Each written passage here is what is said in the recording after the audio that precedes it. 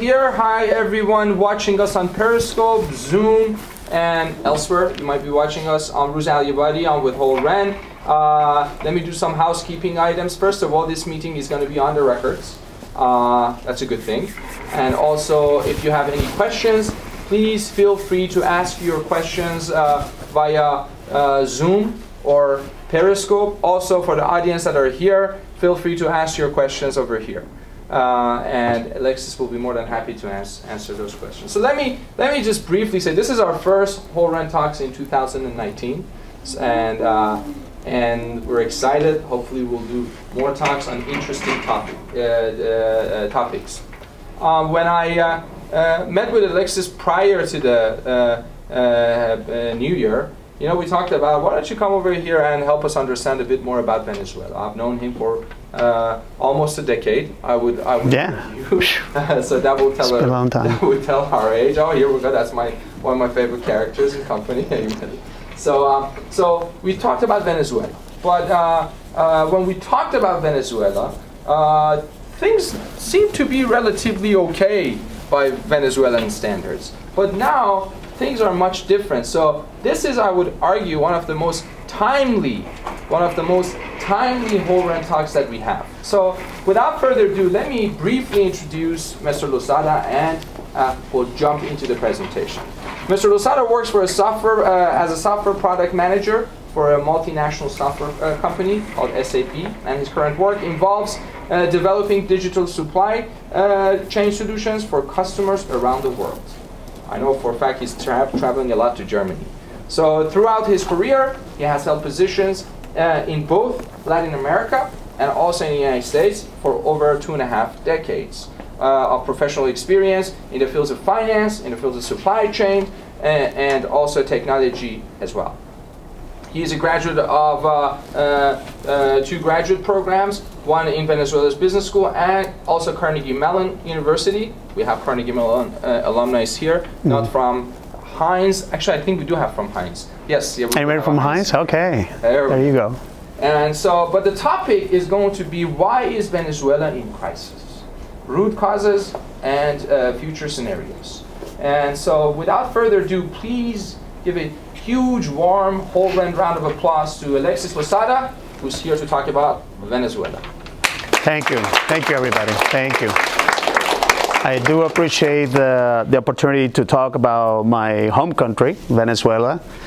Um, and I want to start with a little bit of a personal uh, uh, experience that I had uh, in my hometown uh, of San Carlos, where I grew up, went to high school. Um, the only Chinese community in town live in my neighborhood.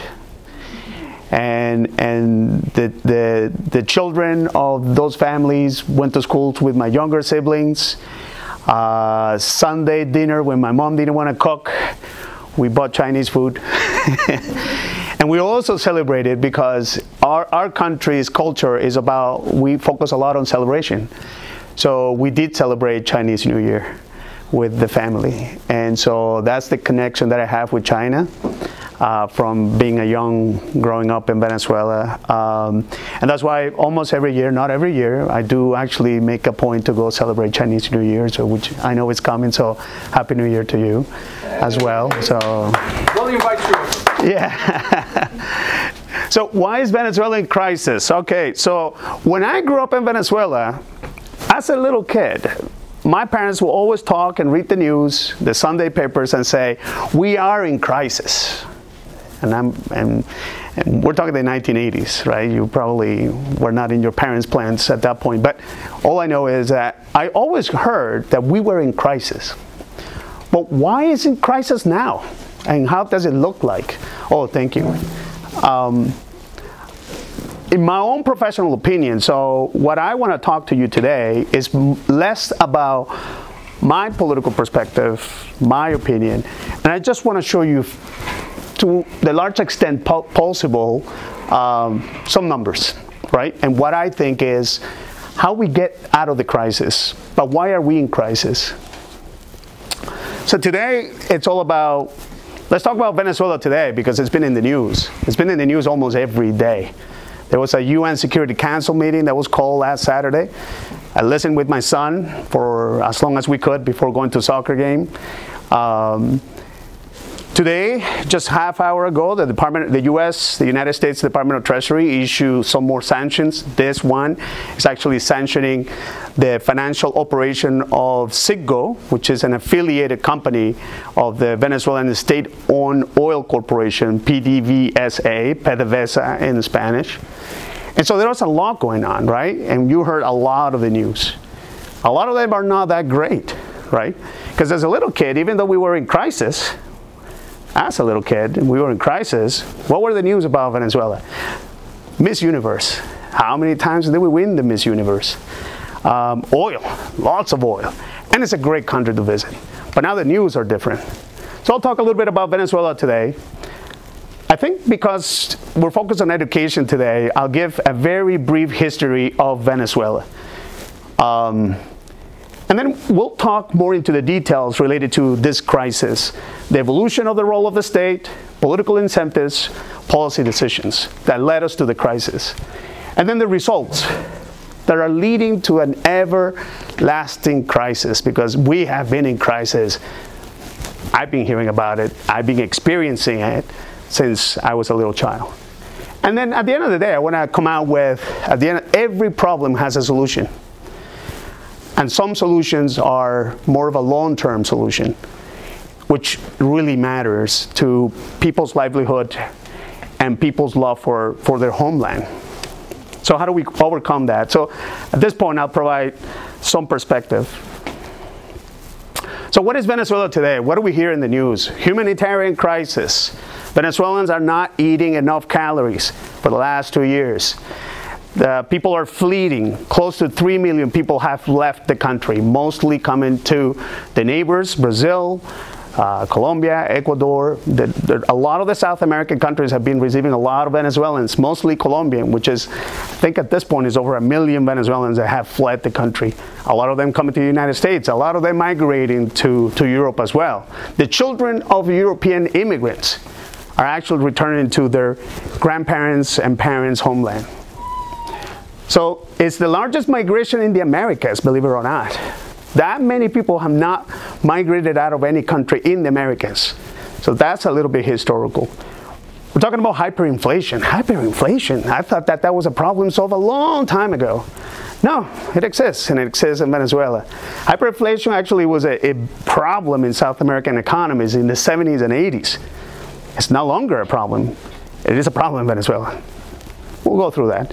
And then you hear about violations of human rights, political prisoners, and that goes on and on and on. And I'm not going to get into the details, but there are some serious problems related to violations of human rights, abuse of power. So what are the latest news, Sarah? So here are some dates, right? So May 20, 2018 presidential election. There was a presidential election on that day that was not recognized by the majority of the democratic countries around the world most, mostly South America, the United States, Canada, Europe, thought that that was a rigged election. So, but Maduro, Nicolas Maduro, the existing president of Venezuela then, was re-elected. But it was not an internationally recognized election. January 5th, 2019 is the new term for the National Assembly in Venezuela. The National Assembly is the, is the Venezuelan Congress. And the new term is started on that day. January 5th. Juan Guaido gets sworn in as president of that National Assembly in accordance to some of the negotiations with the opposition political parties. It was Juan Guaido's turn to become president of the National Assembly. January 10 is the end of the is the end of the uh, constitutionally recognized presidency of Nicolas Maduro. So after January 10, Venezuela has no longer a, a recognizable elected president of the country. So, according to the Venezuelan constitution, and I'm not a lawyer, but I read the law. according to the Venezuelan constitution, in absence of a president, right, that it has now been elected democratically, or it's absent, uh, the president of the National Assembly becomes the interim president of Venezuela. And so Juan Guaido doesn't even need to be sworn in officially or formally before Congress. He becomes the interim president, and the law says that in 30 days there should be elections to elect a new president of Venezuela. January 23rd, 2019. I don't know if you saw the video or not, but I will recommend you to look for it. Juan Guaido before a crowd. People came out in, all over the country. Millions gathered across towns and cities in the country.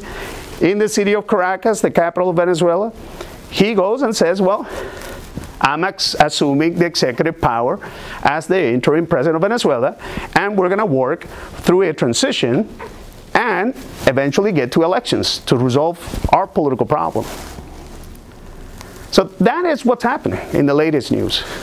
So now you, you read some news, news medias, you read that you know Venezuela has two presidents, there is a coup going on. Uh, there's a lot of noise around what's going on in Venezuela. Um, but I just wanted to share with you what the law says, according to the Constitution, and why Juan Guaido is all over the news who, by the way, is a 35 year old engineer with a young daughter.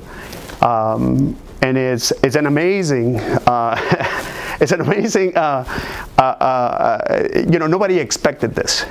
That right now, the person who is leading the transitional or some sort of political transition in the country is a 35 year old engineer, right? Um,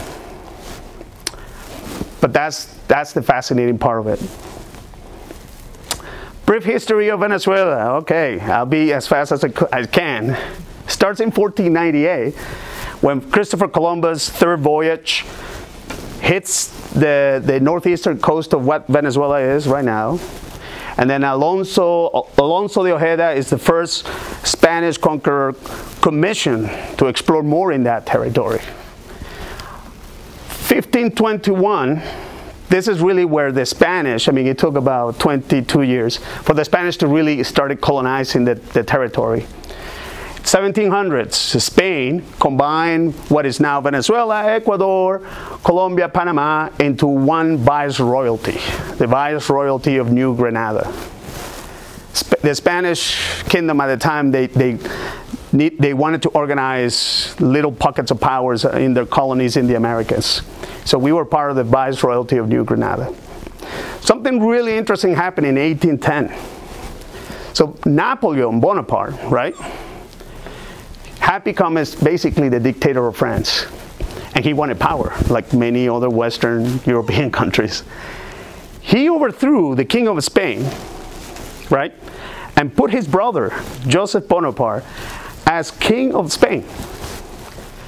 That revolted the Spanish Americas, the Spanish colonies in, in the Americas, and basically led to the, the independence movement really in the country. Because the, the, the, colonials here in the Americas did not recognize Joseph Bonaparte, Napoleon's brother, as the true king of Spain. So they wanted to rule by themselves here. And so that kicked off a series of things all across the Americas, the Spanish colonies in the Americas. But in Venezuela, a year after that, forces, both domestic and foreign, led to the uh, Declaration of Independence. A year later, we came and say, all right, you know what? We're going to be an independent nation. And we declare war. And our declaration of war was very interesting. We said to the Spanish, please leave or die. We didn't even say, let's join. Join me. No, no, leave or die. Don't join me. I don't care. So that happened, that enrolled us in basically a war that lasted for over 20 years.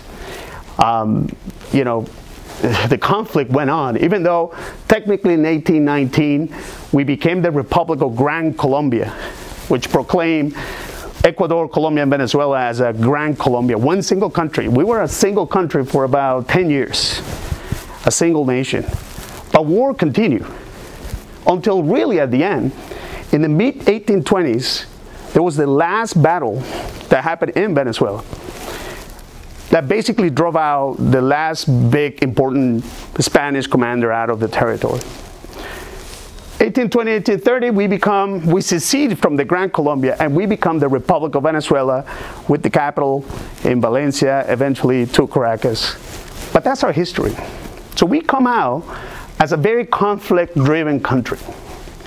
And then the rest of our history is about the same. Basically, the rest of the 1800s for us was civil war. Our way of ruling the country was about who was able to gather the most people with guns. That took over the country. And then as that evolved, there were some people who really ground power and ruled for a, a little bit of an extent of, of period of time. Antonio Guzman Blanco actually was the son of a guy who ruled Venezuela 20 years before. But what's interesting about him is that he's educated in France. And when he becomes president of Venezuela, he modernizes the country a little bit. He brings French architects, buildings start popping up in the city of Caracas, the capital. The, the edu public education system is first established in the country. Theaters, monuments. So he really starts bringing more, let's say, civilization to the country. But it is not into the early 1900s when oil is discovered in Venezuela. And we have a military dictator that rules the country for 27 years. So basically that, the only benefit of that was that it eliminated, it, it stopped civil war in the country. And there was one ruler. He passed away. And after he passed away, the military continued to have power in the country, but then there was a moment of transition to democracy which was they started doing some political reforms, allowing some local municipal elections, etc., etc. But transition to democracy started in the 1930s. All the way until we, on January 23rd, so keep that in mind, 1958, the last military dictator of Venezuela was overthrown. And that started a transition process that, that ended in 1961 with the first democratically elected president of Venezuela. Universal voting, secret voting, um, balance of power, and that's when we started really experiencing modern democracy as we know it.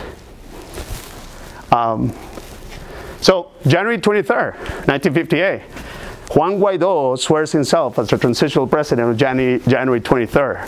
So he's been very clever to use all historical symbols in the country to, to maneuver politically.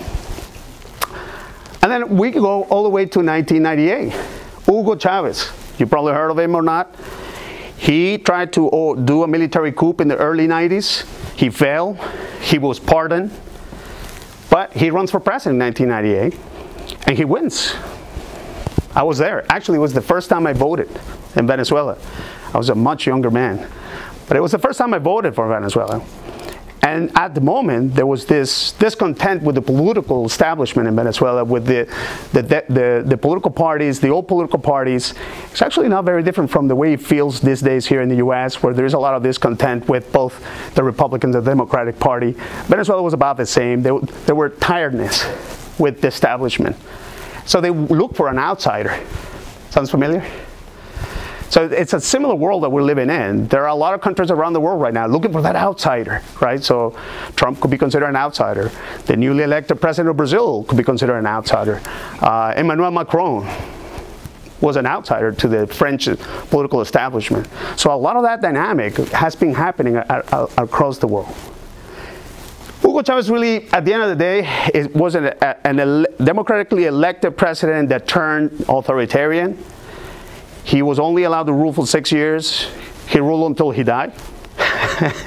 so he bent the system and bent it to his favor, for his political favor. And then as, as he was dying of cancer, he comes and says, he picked his winner. And he said, well, Nicolas Maduro is going to be the guy who's going to continue the revolution, his revolution.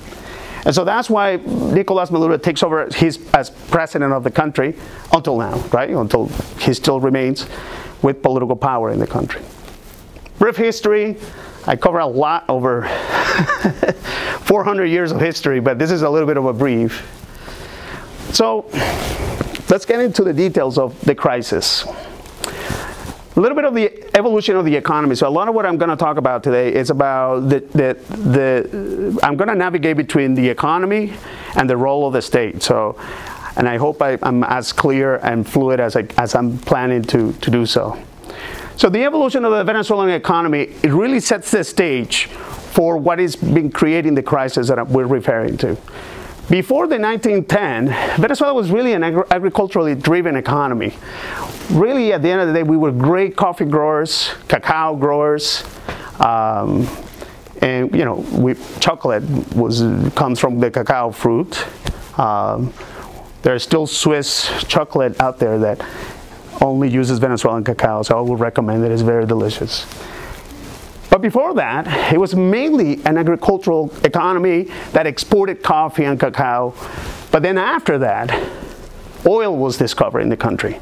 Right around the time, oil actually was being discovered here in the United States, no far from here. You know that town that is called Oil City, PA?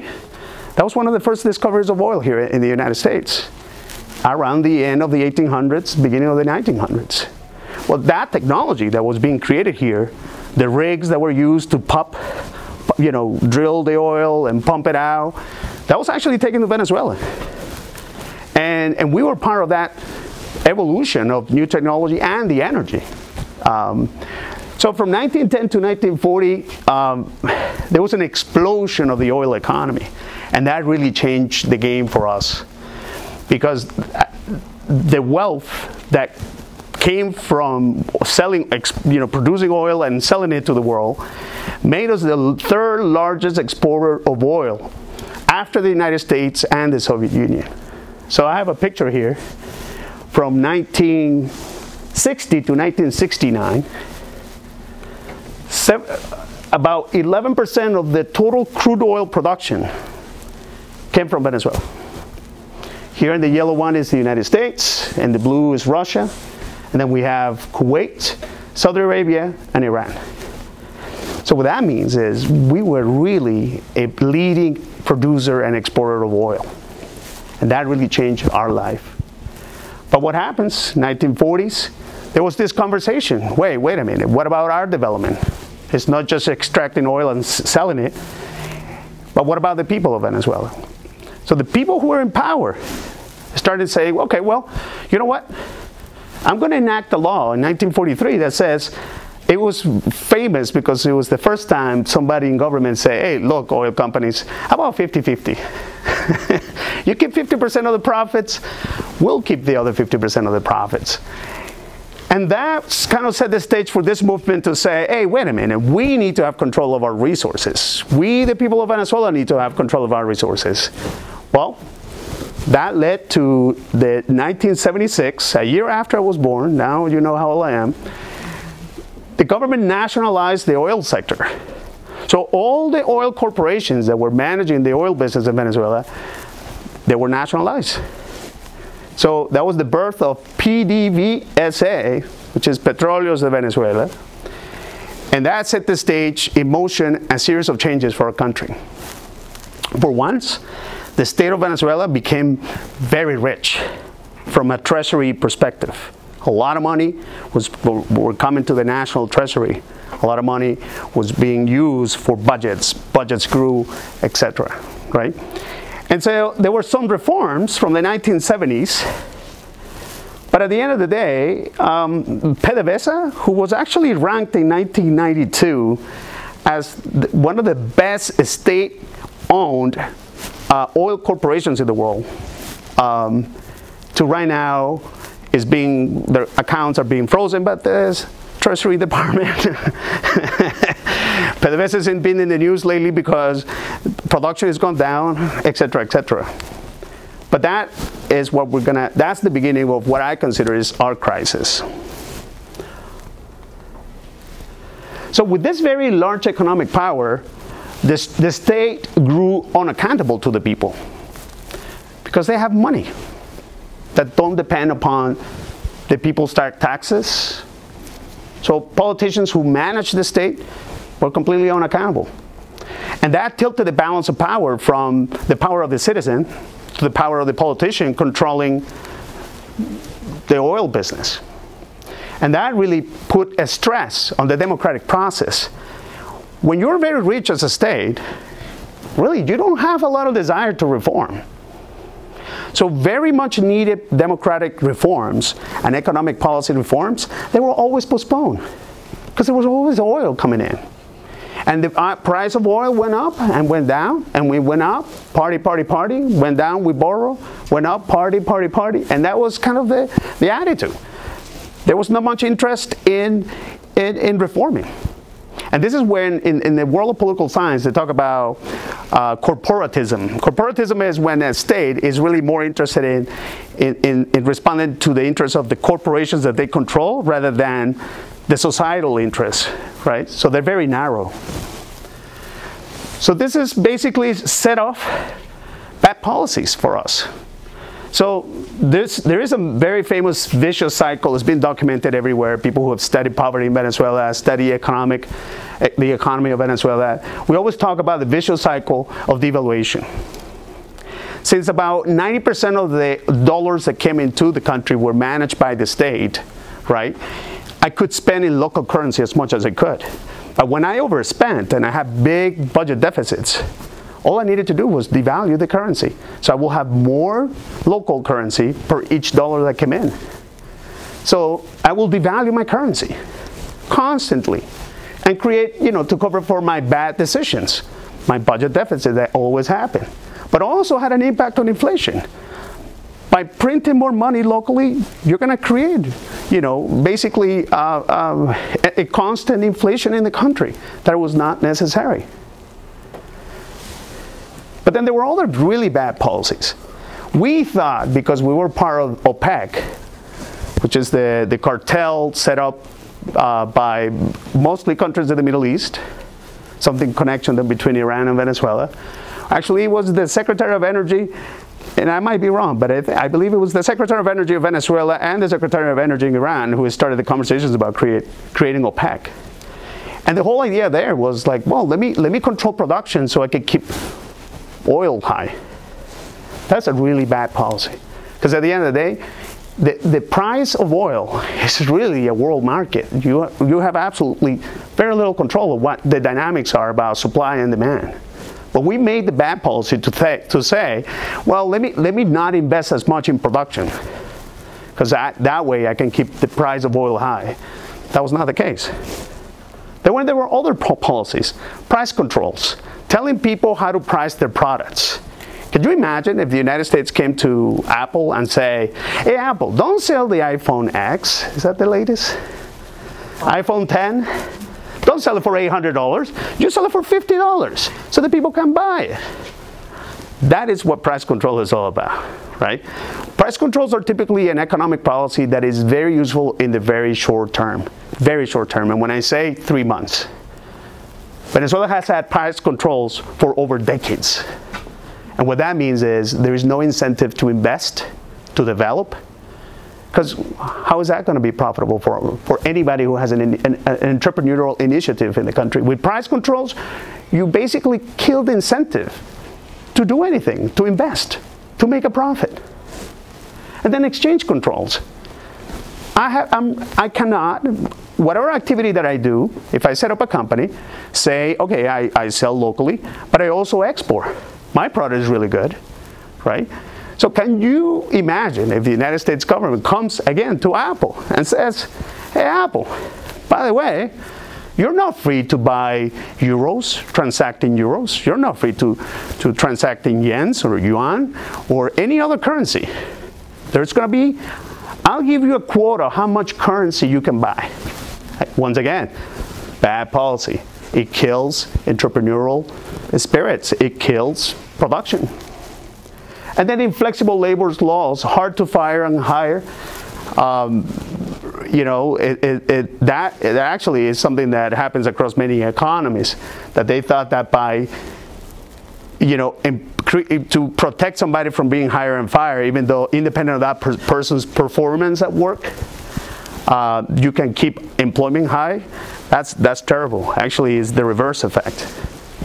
Um, subsidies and more subsidies. Because of oil, because a lot of the decisions about the oil business were based more on political rather than, uh, uh, you know, you know, business decisions. We subsidize everything.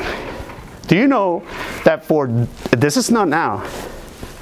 Since I was a kid, a liter of gasoline has been cheaper than a liter of water in Venezuela. Made and sold locally has not made a profit for decades. Can you imagine that? It will go bankrupt, right? But in order to support this, you, that money has to come from somewhere. That money has to come from debt, from devaluation, that's running deficits, right? And so for me, the era of Chavez and Maduro, which, you know, here right now you will say, you know, some, some, from, from an opposition perspective, you will hear people say, well, you know, all of these problems because of Chavez and Maduro. I actually argue that what they did, it was, he did, they did more of the same. More of the same that other, other governments in the past were doing. Nothing changed. More of the same. The only difference is that then there was a, a significant amount of intervention into the economy during those terms that translated into expropriating property and nationalizing the majority of the economic activity. Could you imagine a world where Target, Giant Walmart, pick, pick a grocer. Can you imagine that all of those grocers were run by the state? That's what's happening in Venezuela. Sugar plantations, cooking oil, you name it. It's been either nationalized or expropriated. What's been happening with this is an economy that was self-sufficient, especially with food. We were a country that we produce enough food to feed ourselves. There was a little bit of export, coffee, cacao, sometimes sugar. But a lot of the product, food that we consume was made, was produced, was cropped in the country. Venezuela right now imports about 90% of its food. And that is what's leading to the humanitarian crisis right now. Because that was great when the price of oil, if you remember, was about $100. Not so great when it's about what, 42, 60? You cannot keep importing enough for, for 30 million people. That's why people are fleeing. So all of this, it's, it's our, our, our problems that I consider structural. And they have been happening since I was born. So again, as the state nationalized the oil and gas industry, and by the way, I'm focusing on the oil and gas industry, but in the 1970s we nationalized the, the mining industry. We, we made steel, aluminum, uh, gold, among other minerals. Uh, all that is also nationalized, but a lot of the data that is easy to gather these days is on the oil and gas industry, and it's the biggest one in uh, contributor of the economy. But take a look at this. Since the 1960 to 1970, the yellow bar here is the crude oil production, a million barrels per day in Venezuela. You see the trajectory? It was just going up. And the reason why? Because the oil and gas industry was run by businesses who were making business-driven decisions, focused on profitability, efficiency, maximization of my return, of my investments, of the risks that I'm taking, right? But then in the mid 70s, oil was nationalized. So what's the pattern that you see? Going down. I do know for a fact that basically the as the oil, you know oil corporations in Venezuela, you know Royal Dutch Shell, Exxon, Mobil, some of the ones that you know today, back then, I mean, they started disinvesting in the country when they knew for sure that the government was going to nationalize the industry. So some of the effects that started, we, we, started seeing the effects in the economy even before the, the law was enacted. Um, and remember when we were like the third largest producer? Look at our share. Our share was about 11%, remember that? Well, now it's about less than 3.5%. So we're no longer and now, uh, there are other factors that play a role there, but for sure, the fact that we did not continue this growth trajectory, right, and we decided to decline, that, that's part of the problem. And what are the effects of that? So here's another trend chart, GDP per capita, right? from 1968 to 2016. So the yellow line is Venezuela. About 14,000 GDP, $14,000 GDP per capita. We were about, back in the 60s, we were about a medium income country. And really gear, you, you read some of the, if you, if you love history as I do, if you, leave, you read some of the business, news or economic books that were written back in the 50s and 60s, we were set out to be the first developed country in South America. That was, that was, we were the star, the shining star in the country. We were not only with a great expectation of economic prosperity, but we were actually the only democrat, democracy in the region, in South America. So the, the expectations were really high. But what happened to us? Okay, so the gray line here is the rest of the Latin American and the Caribbean countries, just to make a comparison. And the orange line here is China. And so what, what's the difference here?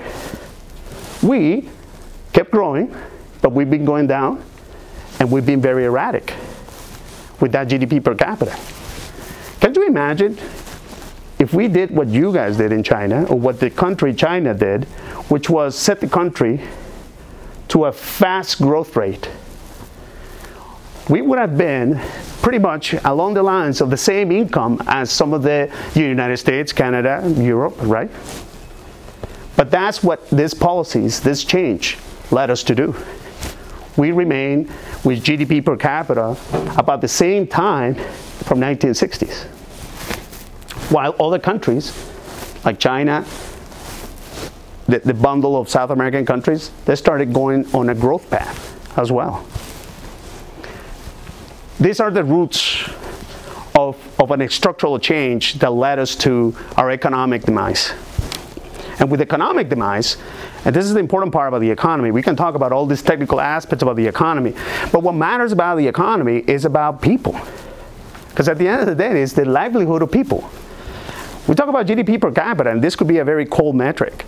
But at the, end of the, the end, at the end of the day, these changes do affect the way we live, the way we eat, how we study, the quality of education we have, the kind of healthcare we have, right? Whether I live, I remain in the country that I love, or I look for, for opportunities in other countries because I'm not happy here. That has an impact, and that is significant. This is why this is important. Because at the end of the day, the economy is about the people. It's about whether I have a job, a good education, good health care, I have a future, I can create a family, I can invest, I can create a business, I can buy a house. So, as I mentioned, the incentives change, right? And how did the incentives change? With the state controlling the biggest business in the economy, there was really very little incentive to invest in the country from private enterprises or create private enterprises. So you see the blue bar here is the investments in Venezuela as percentage of GDP from 1961 to the early 2000s. Right? We went up a little bit and it's been an ongoing decline. And we know that if we don't invest, right, in new things or maintaining the existing things, the economy declines, right? And so very the, the, levels of investments into the country have just systematically been going down and also has had an impact on growth we used to grow at 5.95% that today is a great growth rate right now 2000s 0.46% and I don't have the latest statistics, but Venezuela in the last three years have lost 35% of its GDP. This is why people are fleeing. Again, the tie between the economy and the people. People are fleeing because if, if your economy declines by a third, there are not a lot of jobs or opportunities. You gotta go somewhere else. You gotta eat. As basic as that. But also you see the incentive. As soon as the government started taking over the oil and gas business, what happened to the government consumption as percent of GDP? It, it went up, right? So now you have a government that has a much larger role in the economy, much more dependent. So when I say incentives change, two incentives change. One, as a private investor, I'm not going to put my money in Venezuela that much. I'm just probably going to maintain what I have. But I'm not going to invest in nothing new. I'm going to go to other countries, right? Uh, China, Japan, right? Uh, other countries that will create that opportunity for me. So that was one incentive, right? The other incentive was now the oil and gas business was giving the state so much money that now a lot of the, the I could make all kinds of political decisions that could afford the loss of economic activity, the loss of democratic reform, and I'm just going to live off this budget. Pay up. And with that, actually, something that I have not addressed is corruption, right? And so, so that, that, is, that is a phenomenon that just kept growing in the country. So by design, the results of all of this, it's an everlasting crisis. So we talk about hyperinflation. This is, this is the annual percentage of average consumer prices year on year changes. This is kind of the year on year change of prices in Venezuela. Here I'm plotting a trend from 1995 to 2016, and I'm bundling, I'm comparing Venezuela with the largest economy in Latin America. Argentina, Brazil, Chile, Colombia, Mexico, Peru, and then this blue line is Venezuela. You see something in common? Right now we're talking about hyperinflation right now, right? Yeah, hyper, terrible, terrible. Right now we're talking about 200% inflation a month. Can you imagine that? Prices are changing that fast, right? But that's not new. The, the problem just got worse. Venezuela has had the highest inflation rate compared to the largest economy in Latin America in the last 20, 25, 30 years. So this is a problem that goes back a long time ago. We're just noticing right now, but it's been an ongoing problem that has not been resolved. And this is other indicators. So the orange line that you see here on the left is the percentage of households under poverty in Venezuela. The blue line is the percentage of households under extreme poverty. And I actually took me a long time to put this chart together. I mean, the studies of poverty are very interesting. How you measure poverty, fascinating. I, I need to get paid to, to do that because I would love to study that more. But at the end of the day, this is, you see, you notice something. So this is from 1975 all the way to 2015, right? As soon as the structure of the economy started changing, poverty went up, right? From 26% in 1970s, we've been averaging in the, about 50% for 30, 40 years, 40 years. There was a big decline here, and this is in the 2000s, and this is why I brought this chart, right? So this chart is basically an indicator of the Brent and the WTI, which are two uh, price indicators of the barrel of oil globally. You see this all the time on the global Bloomberg, on the business news, etc. But what I wanted to show you is poverty went down. It's because the oil, the price of oil went up extremely, extremely high, right? Remember those days, $100 barrel? But then as soon as it started declining, Poverty went up in Venezuela. So what does this say? We depend on the price of a commodity. Our welfare is dependent on the price of a commodity. The welfare of 30 million people are dependent on the price of a commodity and political decisions. Not business decisions, no rational economic decisions, but political decisions. So how do we overcome the crisis? And, and I make an emphasis on how do we overcome it structurally and sustainable. Because I'm betting for the sustainability of my country, right? So I look at things from a short term, medium term, and very important part of it.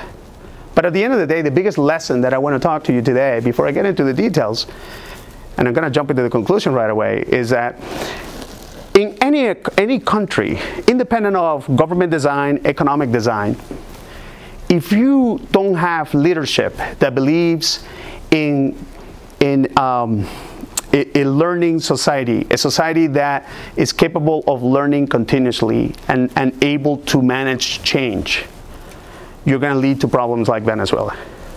And what that means is that if you don't reform, change will happen to you. But in this case, change will happen to you in a bad manner. So you need to be proactive. And you need to be intelligent, especially in the world that we live today. We know that there are certain things that are, are, are, are basic in order for a society to function and create prosperity. So we need to reset the country, establish rule of law and democracy.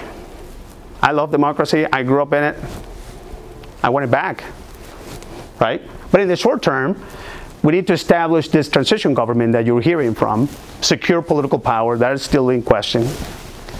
We need to open foreign aid to address the humanitarian crisis. We need to borrow money, unfortunately, to activate the economy. The good news is Venezuela today ha still has 20% of the oil reserves across the globe. You look at that, it's amazing. We still have a lot of oil under the ground. And that gives us the leverage, fortunately, still gives us the leverage to borrow money to activate the economy in the short term. But medium and long-term solutions, for me, you know, politically speaking, I mean, you got to have transparent and fair elections. Let the people decide. Let them decide their destiny. We need to create balance of power, autonomies, a judicial system, Congress, a presidential system, uh, uh, uh, institutions that are balancing each other. We need to decentralize political power. We need to decentralize power to the regions so people are, you know, are, are, are making decisions locally where it matters to them. We need to introduce legislative reforms, which are obvious along this talk because it's all about economic liberties for prices, currency exchange, and labor. The most painful part because of this political process that we've lived in the last 20 years is there's got to be justice, and there will be no justice, no peace. Societies need, need to have justice, otherwise there will be no peace. But more importantly, we got to change the model of state control of the economy. We got to change the way we've been doing things for the last 40 years. We cannot pretend that we can solve our problems by doing the same of what we've been doing for the last four decades and they have not generated positive results. So we need to change the incentives. We need to focus the state in provisioning public goods and services. Justice, security, foreign policy, fire department, the police. But then we need to privatize a lot, right? related to anything that is related to production of private goods and services. No longer the state should be in the business of mining, oil and gas production, groceries, out of there. And we need to create greater accountability for public officials and politicians. I think the less power they have, economic power they have, the more accountable will be for us. And we need, we need to have a, an autonomy of a central bank in order to really manage the inflation problem that we have. In fact, there are talks about dollarizing the Venezuelan economy, actually converting, eliminating local currency and adopting US dollar as a currency. But these are more technical, you know, I just wanted to share some of more detail uh, of, of what I believe, how we're going to overcome the crisis. But my message overall to that is that if we don't structurally change the way we've been doing things in Venezuela, we're never going to get to where we really want, which is a prosperous country, a peaceful country, a democratic uh, country. So I want to end this with this picture um, because I actually was here on this, right here on this bay. Um, this is not far away, uh, far away from where I, I, I was, I, I, grew up. It's one of my favorite places on earth. Um, and I would love one day for you to be able to come to and visit because it's a great country. Uh, for those who like seafood, great seafood restaurant right there. but thank you so much. So I, I want to be done talking, I think, and then so if there are questions, uh, I will take them right now. Um, if well, first of all, let, us give you a, round of applause. Thank you so much. This was a well. Thank you for this presentation. It you. Uh, uh, it was relevant, it was effective, it was efficient. How did you go through so much history in five minutes in one slide? To me, that was that was very interesting. So um, I do. I have some online questions. Okay. Um, and some student questions. Some of them my students that have. Okay. Uh, our students have asked these questions. So let me also let me before I ask that I'm gonna go ask you my. Let me ask you my first question. Um, why should we watching and why should we caring right now immediately about the aftermath of what's happening in Venezuela?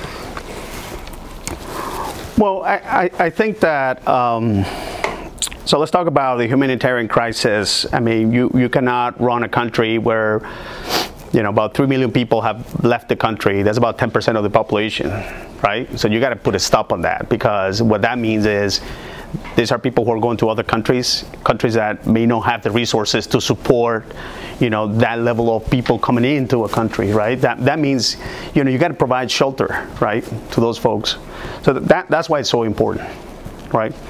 Um, I think what's important is the, the economy of Venezuela um, was is highly connected to many countries because of oil, right?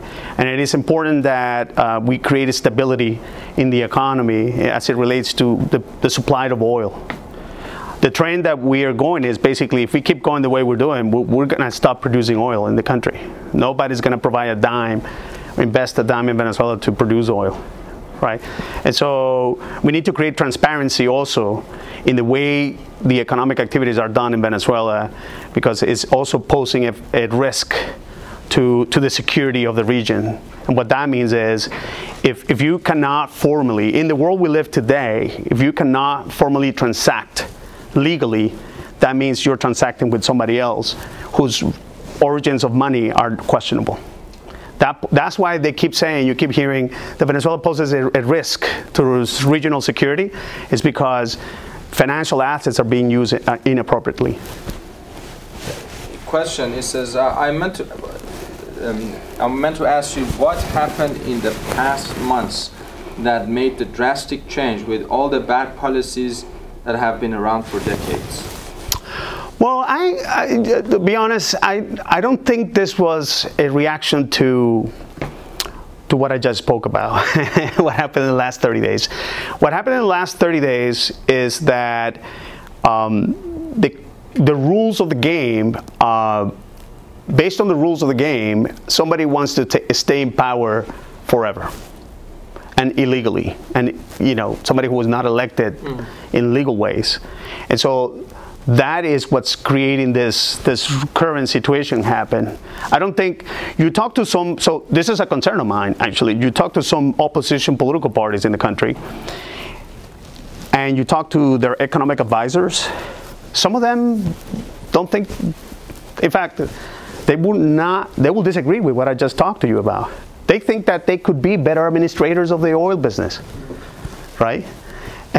and so, so our, what I have put forward today is actually very challenging to, to the local thinkers. For some of them, not everybody, but for some of them, this is a big challenge. And part of it is because it touches a lot of interests that are used to this model, mm-hmm. right? That's interesting you say that. So if you're in Venezuela watching and you're somewhere in politics, you should implement some of these things that Alexis are talking about. I have five questions here, but let me go around. Is there any questions around the room that people like to ask?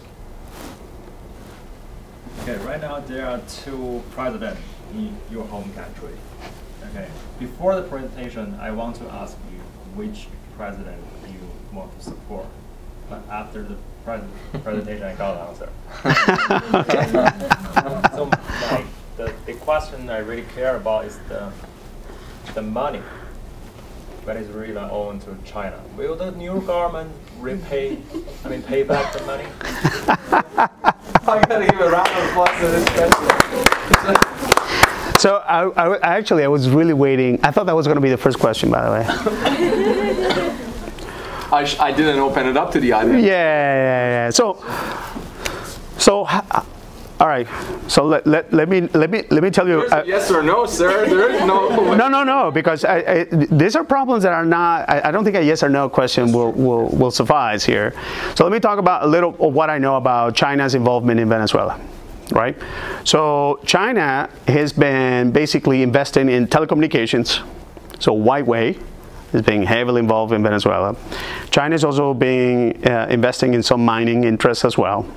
But the biggest bill that China put in Venezuela was this Venezuelan Chinese Development Fund. I think it's called that way. It might have a different name. That the Chinese government set up with when Hugo Chavez was president. I believe it was about 10 billion dollars, right?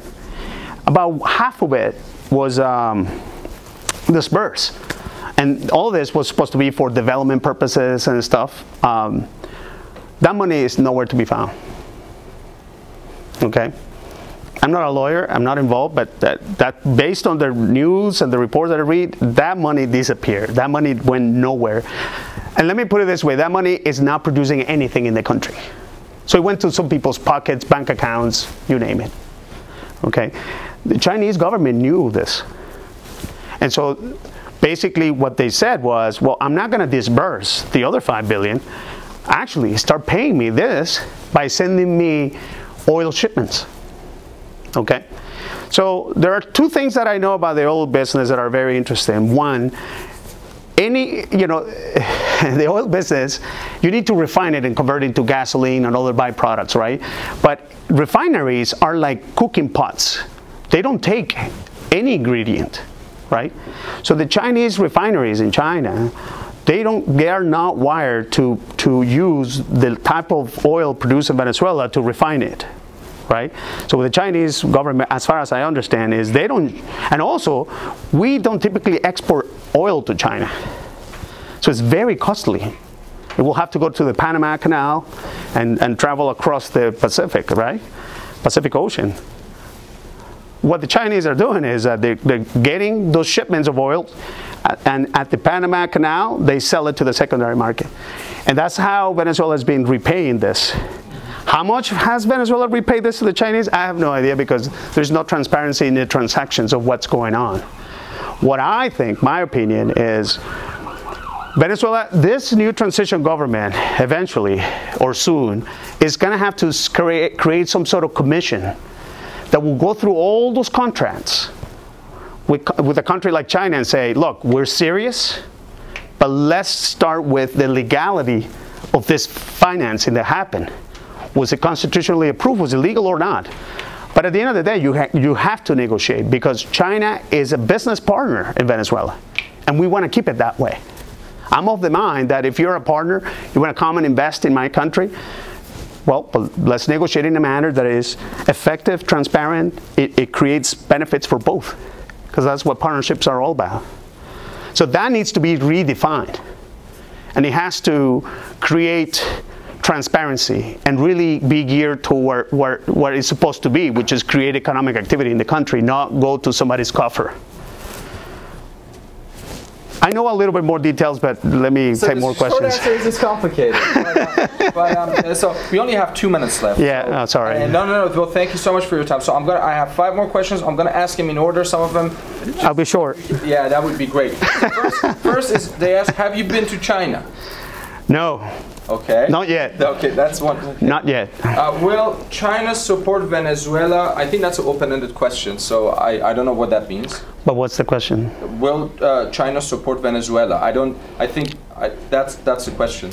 Well, the the, what, the government of China, yeah. government of China uh, uh, is supporting Nicolas Maduro. Recognizes Maduro as the president of Venezuela. So. Uh, will young people like to go back? I'm presuming they're talking about young Venezuelans will go back to the country. Yes, especially the ones who left in the last two or three years. They will go back. They will go back. Mm -hmm. um, and two more. Uh, China and Venezuela have the same model. Why didn't it work for your country?